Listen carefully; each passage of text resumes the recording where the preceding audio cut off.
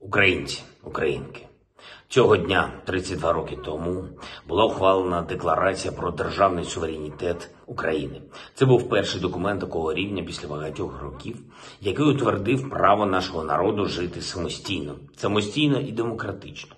Конкретні пункти декларації відображали реалії того часу і надії, які панували у нашому суспільстві.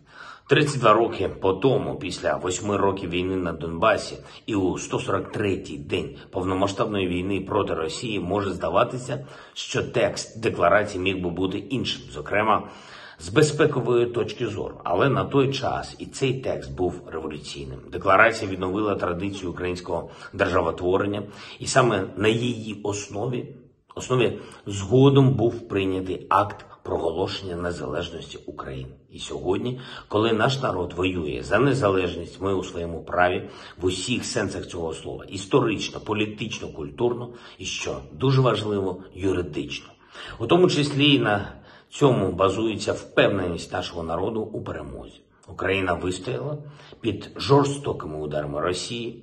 Нам вже вдалося звільнити частину території, яка була окупована після 24 лютого. Поступово звільнимо і інші райони нашої держави, які зараз під окупантами. Ми змогли у час такої війни здобути статус кандидата на вступ в Європейський Союз, зберегли стійкість державних інституцій, перебудували енергетичну систему для роботи в енергомережі європейського континенту перенаправили всі логістичні процеси в державі військові та економічні. А головне, зберігаємо внутрішню єдність, подолавши конфлікти, протиріччя, які заважали в минулому. Ми всі маємо пам'ятати ціну помилок і розбрату, які ускладнили для попередніх поколінь шлях до тих результатів, які є сьогодні.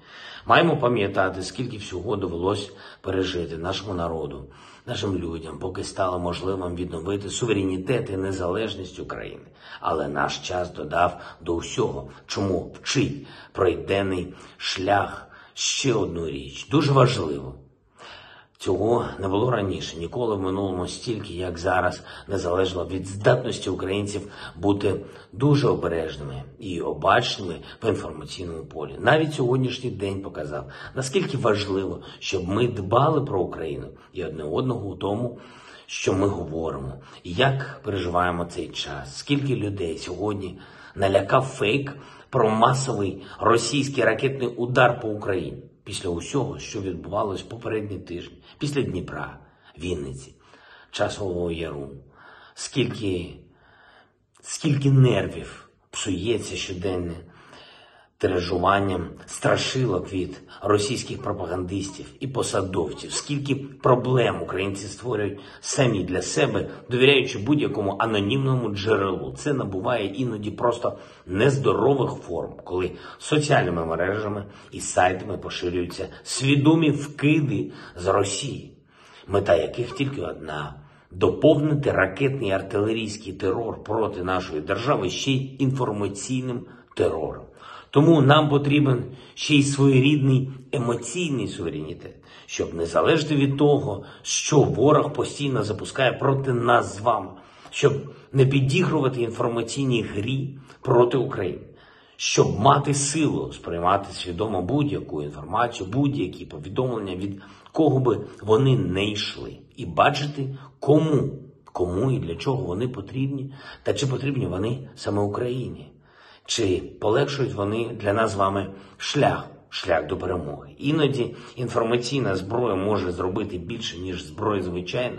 Очевидно, що будь-якими ракетами і артилерією Росії не вдасться зламати нашу єдність і збити нас зі своєї дороги. І так само очевидно має бути і те, що українську єдність не зламати і брехнею, чи залякуванням, фейками, чи теоріями змови.